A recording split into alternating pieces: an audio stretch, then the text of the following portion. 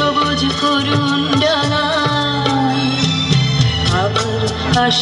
ফিরে। জীবনানন্দ দাশ আমাদের অনেকেই আমরা এই কবিকে হয়তো চিনি না জানি না কিন্তু আমাদের বিএম কলেজে উত্তরণ নামক এক সংগঠন আমরা হচ্ছে প্রত্যেক বছর জীবনানন্দ জীবনানন্দকে পরিচিত করার জন্য হচ্ছে এই মেলাটা করে থাকি। বিভিন্ন নাটক হয় এবছর অনেক কিছুই হবে আর এখানে জীবনানন্দ আ, পড়াশুনো করেছেন এবং হচ্ছে এখানেই তিনি শিক্ষকতা পেশায় ছিলেন। আর তিনি হচ্ছেন রূপসী বাংলার কবি একজন খুব বিখ্যাত কবি।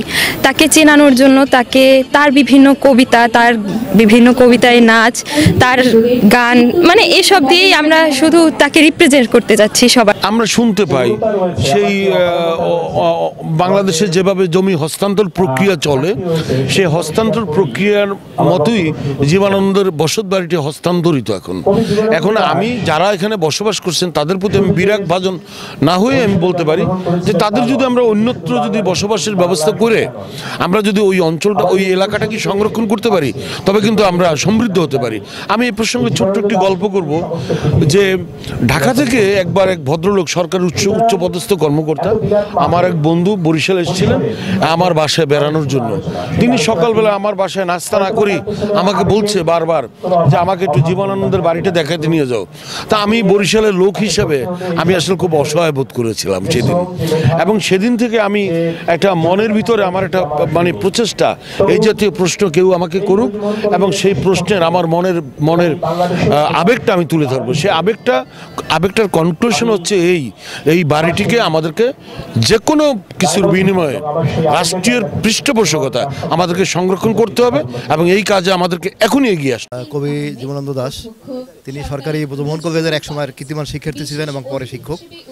তো তাকে ধারণ করা, তাকে লালন করা, এটি আমাদের দায়িত্ব। তো প্রতি বছরই সরকারি বোধমোহন কলেজ মাঠে এই জীবনানন্দকে কেন্দ্র করে আমাদের এক সাংস্কৃতিক সংগঠন উত্তরণের আয়োজনে মেলাটি ধারাবাহিকভাবে অনুষ্ঠিত হচ্ছে। তো সেখানে আমাদের অনেক পৃষ্ঠপোষকতা থাকে।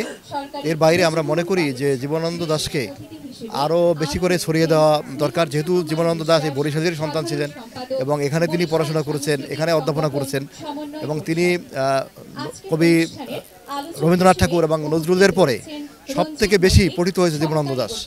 এক সময় যদিও তার জীবদ্দশায় তিনি সমাদৃত হননি, কিন্তু পরবর্তী সময় তিনি তার যথাযথ সম্মান তিনি পেয়েছেন এবং তিনি সমাদৃত হয়েছেন।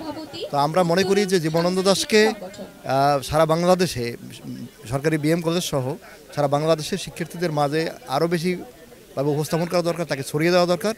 এজন্য তাকে তার জন্ম এবং মৃত্যু যে দিবস সেগুলিকে দারুণভাবে স্বতঃস্ফূর্তভাবে উদযাপন করা দরকার এবং